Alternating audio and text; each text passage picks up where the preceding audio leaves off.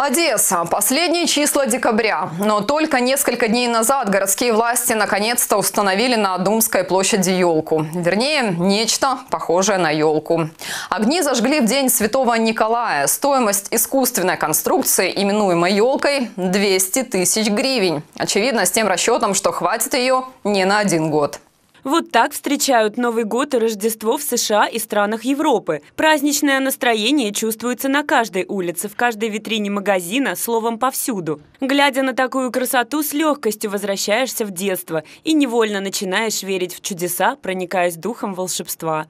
А вот это наша одесская елка. На Думской площади соорудили вот такую геометрическую фигуру. Конструкция выполнена из искусственных материалов. От настоящей елки. Разве что зеленый цвет. Ну, как говорится, как встретишь Новый год, так его и проведешь. Страшно представить, что ждет в 2014 году жителей Южной Пальмиры, если центр культурной столицы украсили вот этим.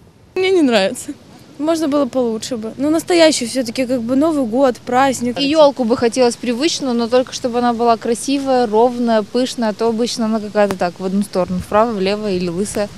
Огни зажгли поздновато, 19 декабря. Видимо, чтобы раньше времени одесситы не обрадовались и ни в коем случае не прочувствовали новогоднее настроение. А оно и правильно, в стране неразбериха, нечего радоваться. Как передают некоторые источники, елка увенчана новаторской семиконечной голубой фигурой. Но одесситам это напоминает совершенно другое. А некоторые жители города нашли в этом политический подтекст, а точнее сходство с флагом партии регионов. Подарок из Канады нет, я думаю, это подарок от э, партии регионов.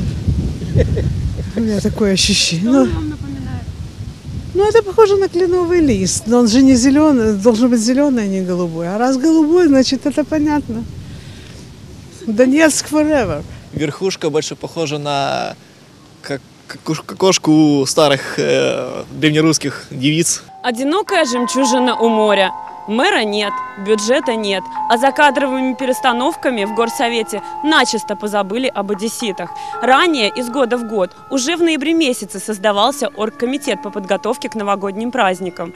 Но поступила информация, что все-таки ИО мэра Брендак подпишет в конце декабря новогоднюю программу. Ну, хотя если программа провалится, то валить вину будет не на кого, хозяина-то нет.